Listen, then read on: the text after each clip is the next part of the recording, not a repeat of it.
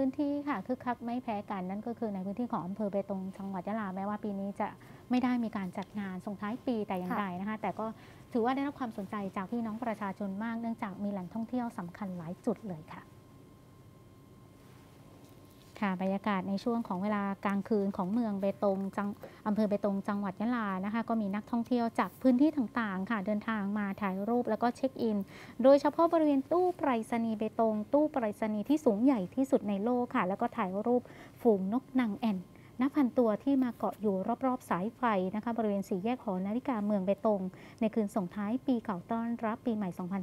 2565 ซึ่งก็มีเจ้าหน้าที่ฝ่ายความมั่นคงนะคะดูแลรักษาความปลอดภัยอย่างเข้มงวดเพื่อสร้างความมั่นใจให้นักท่องเที่ยวในช่วงเทศกาลปีใหม่นี้ ที่สำคัญค่ะก็ได้เน้นย้ำให้นักท่องเที่ยวเนี่ยเที่ยวแบบ new normal แล้วก็คือการสวมใส่หน้ากากอนามัยตลอดเวลา แล้วก็เว้นระยะห่างหรือว่าหลีกเลี่ยงพื้นที่แออัดนั่นเองค่ะ ทางด้านของนายกสมาคมการท่องเที่ยวอำเภอเบตงก็เผยนะคะว่า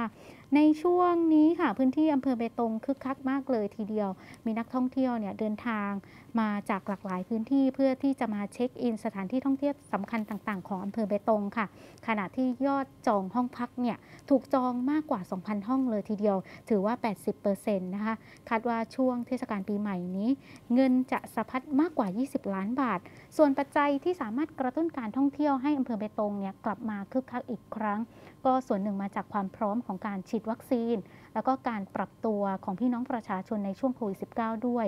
รวมไปถึงค่ะอีกหนึ่งโครงการสำคัญของรัฐบาลค่ะที่เข้ามาช่วยกระตุ้นการท่องเที่ยว นอกจากนี้ค่ะอำเภอเบตงเองก็มีจุดขายด้วย ในเรื่องของสถานที่ท่องเที่ยวเชิงธรรมชาติ จึงเป็นเสน่ห์ที่สามารถจะดึงดูดนักท่องเที่ยวให้มาเที่ยวในช่วงของวันหยุดยาวนี้ค่ะ ก็ถือว่ามีนักท่องเที่ยวทั้งชาวใต้ แล้วก็ภาคกลางค่ะมาเที่ยวกันจำนวนมากเลยทีเดียว ทางด้านค่ะนักท่องเที่ยวที่มาจากกรุงเทพมหานครก็บอกนะคะว่าเดินทางมากับครอบครัว เป็นครั้งแรกประทับใจบรรยากาศแล้วก็อาหารผู้คนทั้งนี้ก็อยากเชิญชวนให้ทุกคนมาเที่ยวเบตงกันเยอะๆค่ะ